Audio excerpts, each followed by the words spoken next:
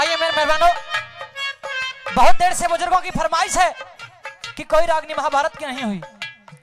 एक नहीं, दो रागनी एक ही किस्से से। और अब महाभारत में किस्सा भी रहेगा, चक्रव्यूह की घनघोर लड़ाई। जी हाँ जिसे हुमन निबद के नाम से भी जाना जाता है।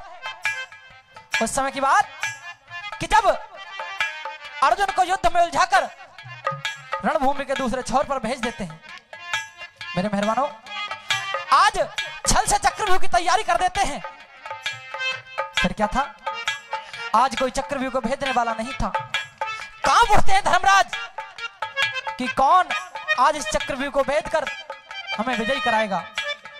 साथियों, तभी 16 वर्ष का वो बच्चा, वीर अभिमन्यु सामने आता है। तातश्री मैं इस चक्रव्यूह को भेजूँगा। साथियों, लाख मना करते हैं, लेकिन नहीं मानता है। बताता है कि माँ के गर्भ में मैंने चक्रव्यूह को भेदना सीख लिया था।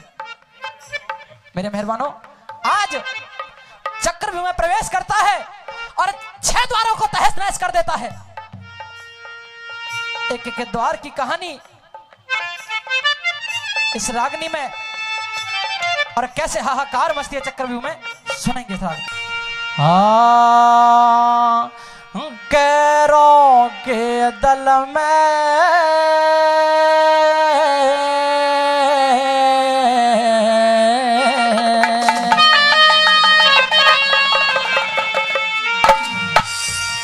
कैरों के दल में मच रही हाहाकार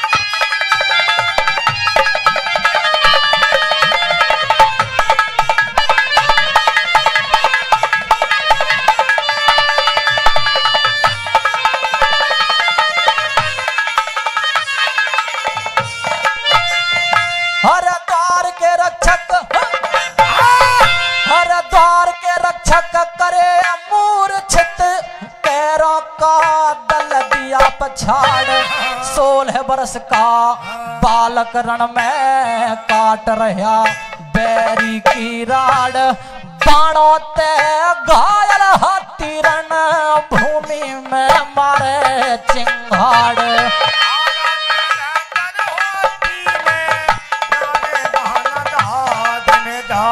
हर मारे सिर दहाड़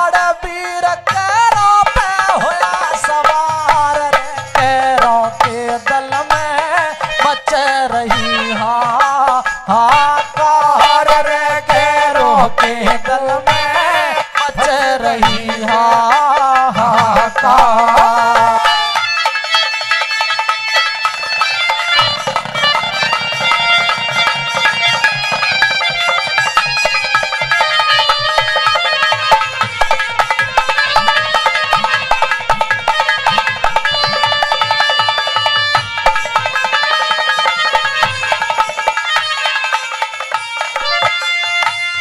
मची खलबली।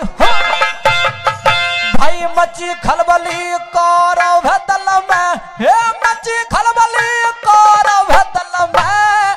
कोई भी चले ना पेश, सभी महारथी छिप के बैठे, कायरता का करके भेष।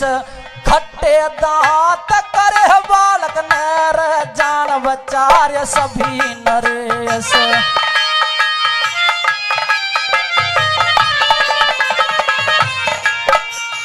हर तैसन सकर कर सभे अमारती तैसन सकर कर सभे अमारती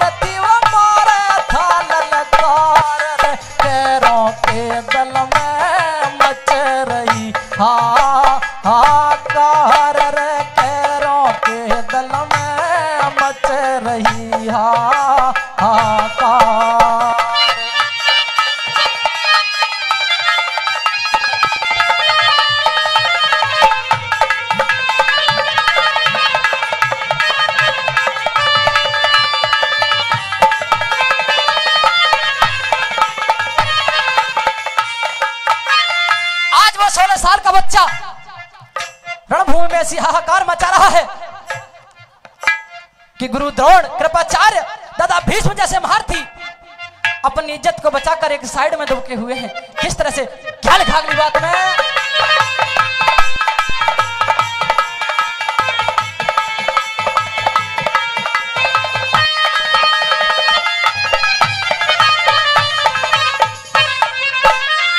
हर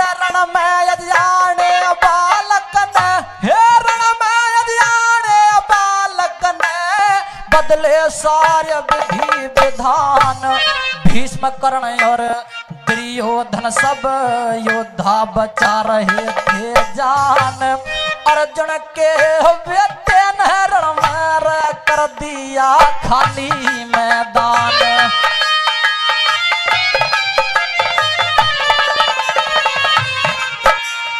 हर अर्जुन सबलवान जंग में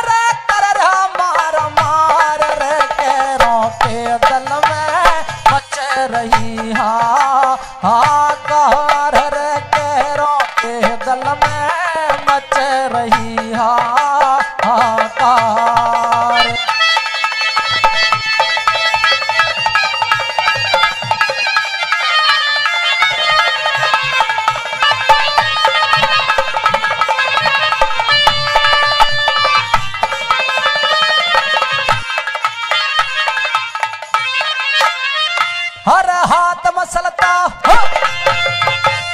हाथ मसलता, दुर्योधन घना मन में कर रंग बदनामी के ढोल बजेंगे, बालक ने करया हाल बेहाल।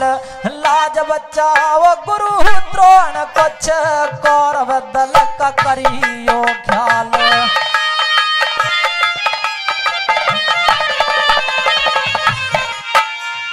हर लिख महासर सी पाल हा, लिख महासर सी पाल हुई कविता सदा बहार रे कैरों के दल में